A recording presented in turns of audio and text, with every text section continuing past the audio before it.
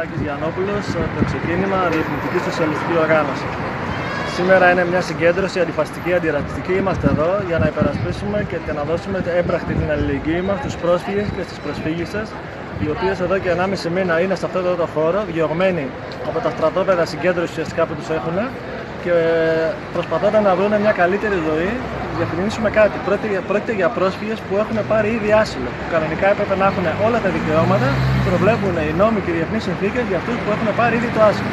Και αντί να τους δώσουμε προστασία, δικαιώματα κτλ., τους έχουμε είτε να κοιμούνται στα πατώματα τα δάπεδα των πλατιών, είτε να τους πλακώνουν τα ΜΑΤ ή να γίνονται έρμεος στη διαθέση του κάθε είδους φασιστοειδούς το οποίο τους απειλεί καθημερινά εδώ στην πλατεία. Δεν θα το επιτρέπουμε αυτό. Σήμερα είναι μια μεγάλη συγκέντρωση, είναι μια απάντηση και είναι ένα μήνυμα. Δεν θα αφήσουμε να ξαναγίνει το έκτο διαμέρισμα αυτό που ήταν τα χρόνια της Χρυσής Αυγής.